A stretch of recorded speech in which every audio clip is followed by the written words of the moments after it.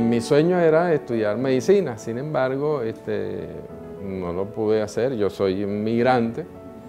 Eh, para estudiar medicina acá en, Venezuela eh, se requiere dedicación exclusiva. Yo estaba solo, tenía que trabajar, entonces tenía que buscar una carrera que me permitiera trabajar y estudiar. Y busqué algo relacionado con el área de la salud, que es la farmacia. Entonces en ese momento me eh, inscribí en la Universidad de Santa María. Y allí comencé mi carrera trabajando en el día y estudiando en la noche.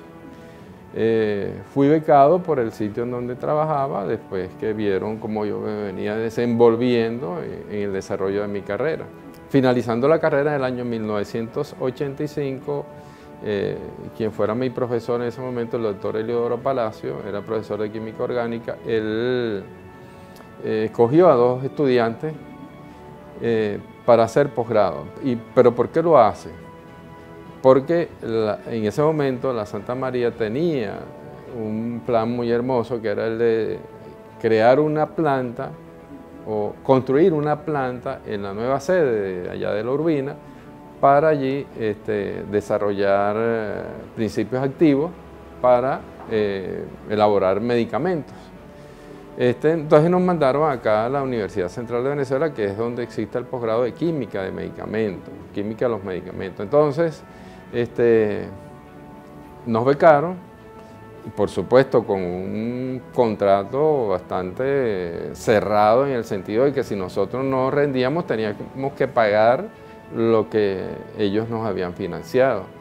Bueno, eh, terminamos el año, hicimos la maestría y terminamos el año 1988. Eh, pero dicho proyecto no había arrancado, el de la construcción de la planta.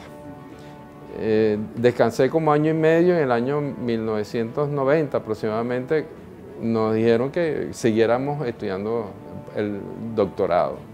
Y allí pues eh, comencé a trabajar con quien fuera luego mi profesor acá en, la Facultad de Farmacia de la UCB, el doctor José Nicolás Domínguez, quien fue el que me formó y me guió en esta área. Y me, me introdujo en el área de los, parásitos, pues, del diseño de nuevas estructuras con actividad antiparasitaria. Bueno, este premio eh, Lorenzo Mendoza Flebri eh, se entrega cada dos años y se viene entregando desde el año 1983. Eh, es un premio, bueno, en este caso, en donde se está valorando a través de un reconocimiento nacional el premio al talento, la creatividad y la productividad. Por supuesto, eh, esto obliga a, los galardonados a seguir trabajando en lo que siempre hemos hecho. Esto también estimula eh, en estos tiempos esa actividad que uno viene realizando con la finalidad de aportar uno un granito de arena a tratar de eh, solventar la problemática que, se vive no solamente a nivel nacional, sino regional y a nivel mundial con muchas parasitosis y enfermedades tipo cáncer, en la cual yo también me he venido este, trabajando pues, de estos 37 años. De hecho, yo estoy jubilado, sin embargo estoy aquí activo, eh, sigo con mis proyectos, no solamente con grupos nacionales, proyectos que son financiados por, entes nacionales, sino también con entes externos. Estoy formando eh, recursos humanos, personal de la nueva generación, eh, personal de relevo, eh, tengo estudiantes de posgrado, específicamente doctorado, ahorita no tengo de pregrado porque con toda la problemática que tenemos en el país, muchos de los equipamientos a, prácticamente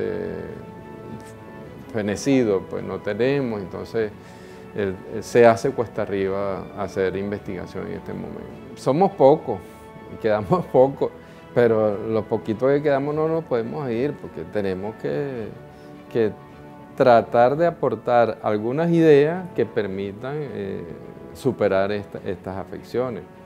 Eh, por ejemplo, el caso de, la malaria, eh, que hemos tenido repunte últimamente. Claro, el que hace, el que hace trabajo de campo, ese está en el sitio, pero yo estoy haciendo un aporte desde el punto de vista del diseño de nuevas estructuras para poder eh, ofrecer algo ante la comunidad que trabaja esto para tratar de solventar. Todavía sigue existiendo en el país gente que, quiere trabajar con lo que uno hace. Eh, no en la misma proporción que lo que había anteriormente, pero sí hay, sí hay quienes hacen con las mismas dificultades que tenemos acá, pero siempre esto se alcanza en equipo. El equipo, por ejemplo, en este caso químico y el equipo biológico, que es el que hace la parte farmacológica.